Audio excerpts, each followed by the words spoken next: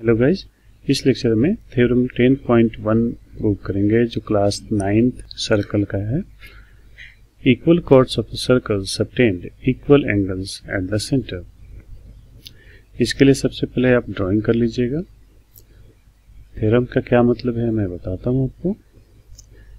एक circle draw किया गया है, जिसका सेंटर ओ है, और रेडियस OA है। यदि यहाँ पे दो कॉर्ड हैं ए बी और सी डी आप डायग्राम में देख सकते हैं। यदि इनकी लेंथ इक्वल है तो हमें ये प्रूव करना है कि कॉर्ड ए बी के द्वारा जो सेंटर पे एंगल बन रहा है, यदि ये थीटा है इसका मेजर तो ये भी थीटा ही होगा। ठीक है? तो इसी को हमें प्रूव करना है। आइए स्टार्ट करते हैं। सबसे पहले हम लिख लेंगे A B is equal to C D क्योंकि ये गिवन है। और हमें प्रूव क्या करना है? Measure of angle A O B is equal to measure of angle C O D tabular form method को यूज़ करते हैं।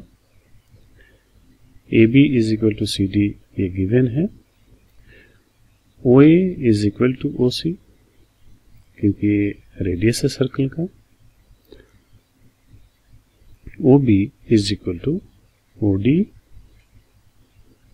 O B is equal to O D ये भी रेडियस है सर्कल का।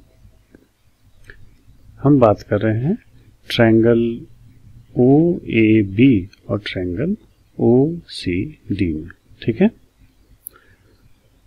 यहाँ पे दोनों ट्रायंगल का सारे साइड इक्वल हो चुके हैं, इसलिए हम बोल सकते हैं कि triangle O A B is congruent to triangle O C D इसका रीजन हम दे सकते हैं। S S S congruency. यदि ऐसा है, दो ट्रायंगल यदि कन्ग्रुएंट हैं तो उनके कॉरेस्पॉन्डिंग एंगल्स भी इक्वल होते हैं। ओके? इस तरह से हम बोल सकते हैं, measure of angle A O B is equal to measure of angle C O D इस तरह से हमने इस थ्योरम को प्रूव कर दिया। नेक्स्ट वीडियो में मैं थ्योरम 10.2 प्रूव करूँगा।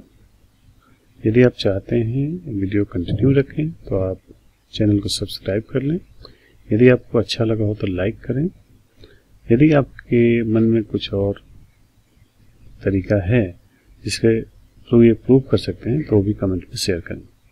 Thanks for watching till then good bye